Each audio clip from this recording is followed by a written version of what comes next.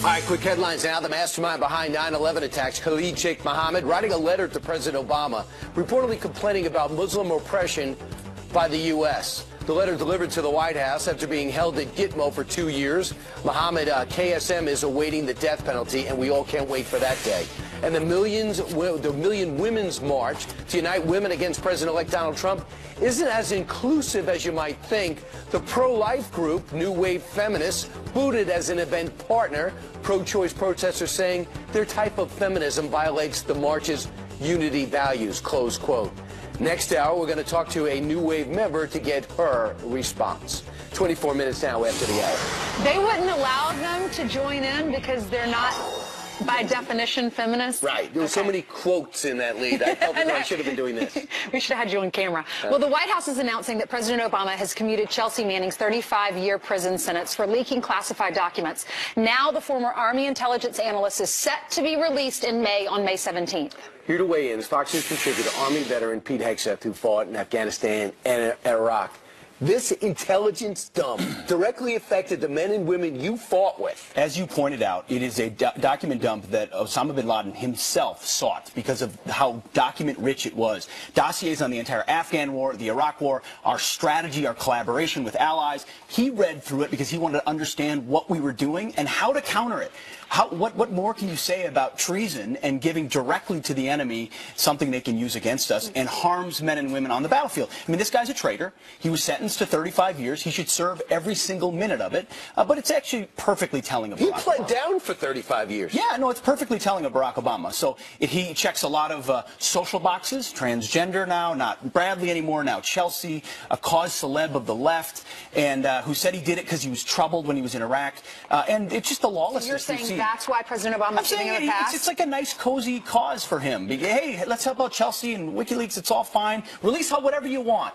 America, you know. Mike Baker this morning was on Fox, and he's an ex-CIA agent, and he said that this guy, or this girl, I should say, is responsible for the death of Americans by releasing information about our military to other countries. Of course. I mean, I wouldn't release one document, let alone 700,000, and he did it because he wanted to expose supposed war crimes, as you said, some fuzzy videos, some difficult situations where our guys make decisions on a split second. He's indicting them in the court of public opinion, making the wars more difficult to prosecute. By the way, it raised the profile of WikiLeaks. We didn't even know what it was. It caused irreparable damage to Hillary Clinton's uh, State Department. She had to go around apologizing for all the uh, the stuff that was said behind closed doors that we didn't even want our allies to know. We never, here's what Carol, uh, here's what Catherine Herridge reported. Uh, after two intelligence sources confirmed to her that after the Afghan war diary was released, these incident reports, uh, in 2010, the Taliban went on a killing spree, taking out everyone who seemed to fit the description That's of individuals who were working with the U.S., exactly. making it, by the way, Anyone very with brown hard. hair. Anyone why, with brown hair. Why would you want to work with us? I mean, when we're going to expose you eventually, you're dead. I saw it in Iraq. When a guy was uh, that we were working with was exposed, he was dead. Uh, it's, it's, it, it, these are not, this is not play games Why? here. These are people's what lives. Was, what was her motive? Why did she release all this information? Well, she when, was depressed. When, when, when, he was depressed at the a time about gender depressed. dysphoria, didn't know who he was, was didn't want to be in Iraq, so decides, um, I'm just going to release 700,000 documents. There's no excuse for it. There's no excuse for caveat in the military code. No, I mean, apparently not. Uh, they wanted to make a, make, a, make a statement about transparency while killing fellow soldiers and allies in the process. All right. Thank you. Thank you Thank for you. your service, too. Coming up, more of the exclusive interview with President-elect Donald Trump. I ask you about your speech, the inauguration speech.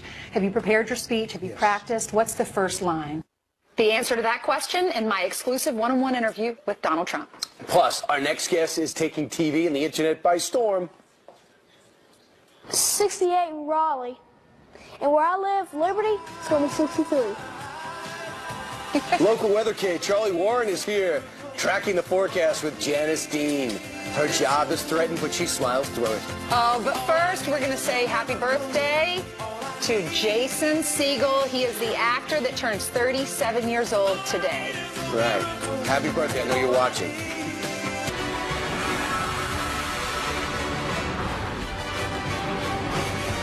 Well, the inauguration just two days away, and we've got an exclusive interview with our next commander-in-chief. Well, she did. Well, Ainsley visited the 25th floor of the Trump Tower uh, to talk about the big day. Is that true, Ainsley? That is absolutely true. You want to listen?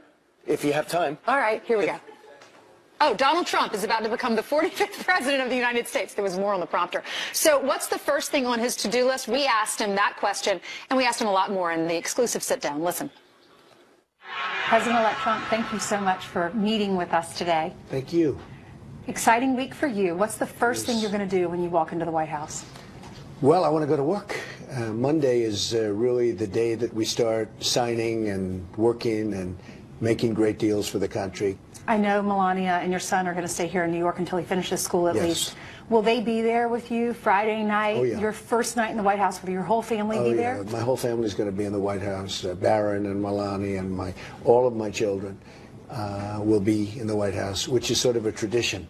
They say the first night you have your family there, but Ivanka, Don, Eric, Tiffany, they're all going to be in the White House, and it'll be very exciting. There's something very special about that building. Every time you walk in it, it's just something so incredible about the White House. Uh, not many people get the opportunity to No, say they are the no. President of the United States of America. It's very humbling, I will tell you. I'm sure. Do you think about your parents? I do. My parents were great. I had great parents and loving parents, and my father was a strong guy. Actually, my mother was at least equally as strong, but a lot of people didn't quite understand that. But she was strong, but good, both good, great hearts and great parents. I want to ask you about your speech, the inauguration speech. Have you prepared your speech? Have you Yes. practiced? What's the first line? Well, I have prepared it. Uh, well, the first line is thanking everybody, all of the presidents, and uh, including, by the way, President Obama and Michelle, who have been absolutely nice. Uh, Melania has spent time with Michelle, and it was great. And Ivanka the other day spoke to her. The conversation was going to be a quick conversation. It lasted an hour, and they got along great. And uh, so I, I'm just thanking President Obama. I'm thanking his very lovely wife because they have been so gracious. We're going to have a tremendous turnout. I think it's going to be, from what I'm hearing, the numbers are going to be astronomical. There are some congressmen and women who have decided not to show up and not be there. What was your reaction when Congressman Lewis started this?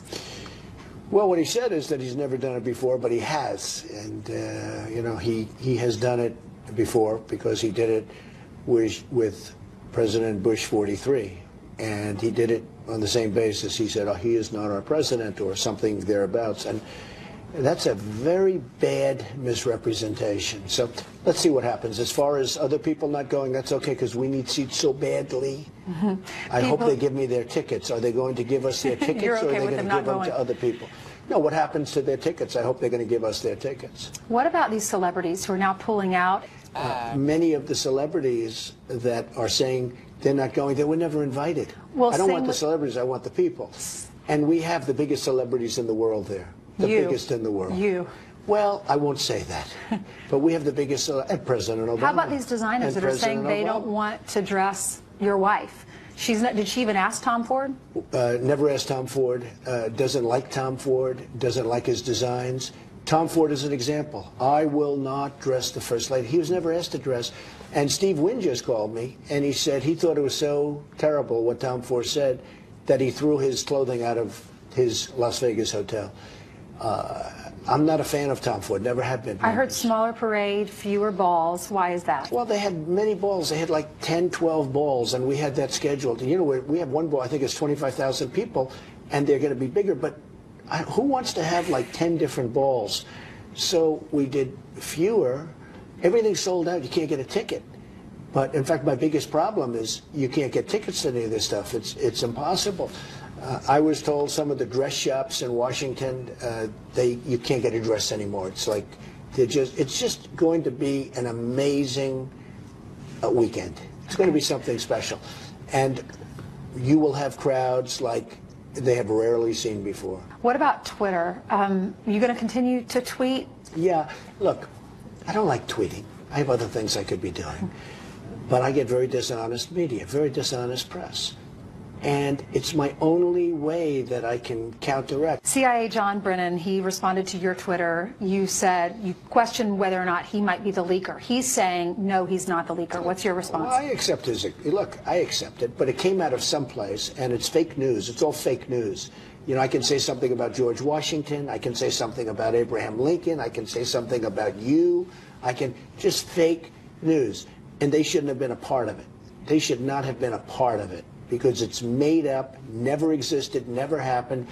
And the reason I say that so strongly, because nothing's ever going to show up. There's never going to be a tape that shows up. There's never going to be anything that shows up. Now, I would be very embarrassed if a tape actually showed up saying something like that. It would be double embarrassed because I'm saying it. There is no tape. There is no event. I was never even in that room for that period of time. They made stuff up, and it started with the Republican Party when they tried to beat me in the nomination, and then it went on. The Democrats took over that work, supposedly, and by the intelligence giving it credence, a little bit of credence, by just even talking about it, it was very inappropriate. So I don't know who the leaker was. I have no idea, but it's fake news. Press briefing room, are you going to move it?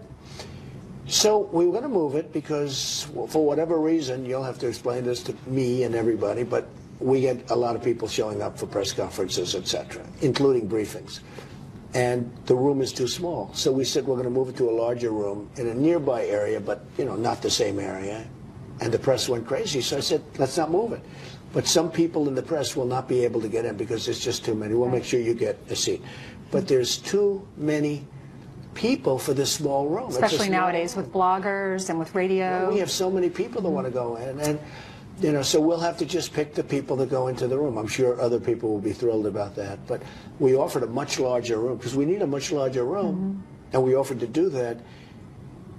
But they went crazy, and they'll be begging for a much larger room very soon. You watch. Did you see the impersonators that were standing in for you? They're in the military, the man and the woman. They were you and Melania. Oh. We asked, we interviewed them this morning, and we said, "Is there any advice you have for Mr. Trump?" And he said, "Tell him to watch his step." Apparently, he tripped going up the stairs. Ooh, we don't want that to happen. Yeah, he wouldn't be the first person to tell Donald Trump to watch his step. now, we did learn that apparently uh, Ralph Lauren is actually going to be dressing Melania. Who wouldn't want that task? I mean, that she's a beautiful lady, and to have the opportunity to address the first lady, I think that would be such an honor, even if you don't agree with the politics. Great. Donald Trump, a one-on-one Exclusive. exclusive with him. Yeah, it was it was great. He told me a lot of information, and we asked him right out of the gate about Congressman Lewis. Congressman Lewis says that he was boycotting or is going to boycott the inauguration. Um, many other congressmen and women are actually going to join him on this. And when Donald Trump walked in the door, he said, "How about this?" He ended up lying. He said that he has never done this before. It turns out he has. Listen to this. Congressman Lewis is saying he doesn't. He didn't remember that he skipped that Yeah, he doesn't inauguration. remember. He conveniently doesn't remember. How do you forget if you go to an inauguration? I can tell you when I was at the inaugurations, and uh, you don't forget something like that. So uh, he got caught, and it's pretty bad, and it's making him look bad. Frankly, it's a very important time. This is a transition, and a very important transition, and especially because things will be done beautifully, but they'll be done differently than they have been over the past eight years and I can say over the past 16 years, I mean, uh, they'll be different. And, you know, we have to have a smooth transition. And President Obama understands that very well, and that's why he's been so gracious. But he understands that. And I think for him to have grandstanded, because I think he just grandstanded uh, John Lewis, and then he got caught in a very bad lie. So let's see what happens. As far as other people not going, that's okay, because we need seats so badly. I hope they give me their tickets. Are they going to give us their tickets, You're or are they going to give them going? to other people? No, what happens to their tickets? Would you be willing to sit down with, with Congressman Lewis? Sure, I, I would be, but you know, it's just uh, we're off to a bad start. There's no question about it. What he did was a very, very bad thing. Not for me. For me, it doesn't matter. He did a bad thing for the country. Very, very divisive. We have a divided country, and it's not divided because of me. It's been divided. But we have a very divided country, and what he did was very, very divisive. Speaking of divisive, so far 60 Democrats have said, you know what, we're not going to show up. And by the way, a lot of them, uh, Ainsley, are saying, and Steve, they're not. It's not even because of Lewis. They just don't like Donald Trump. It's up to 60. And among the uh, among the outlets uh, that says this is wrong to sit out the American process and it's anti-American to do so is the is the biggest uh, critic of Donald Trump outside maybe the New York Times, New York Daily News, in their editorial today. So you might not like him, you uh, you may be disagree with him, but you have to show up. Agreed. So what's going to? So now from here on out, every time there's a Republican president, the Democrats shouldn't show up, and when there's a Democrat, the Republicans. Where? How do we get to this? This point? is extraordinary. Hillary Clinton's going to be there. I thought that was extremely classy of her. And every se- senator senator. Every U.S. senator will be there, from the most liberal to the most moderate. Every Democrat will be there. What is going on in the House? It is just an excuse not to show up and raise some more money. Democrats should realize raising money doesn't win you elections. Well- Didn't you learn anything from the last uh, last round? With Lewis, he said he didn't think that uh, Trump was a legitimate president. But then you've got a number of people who say we don't like the way Russia helped Trump, you know, through WikiLeaks. They didn't like that. Wait till uh, the next.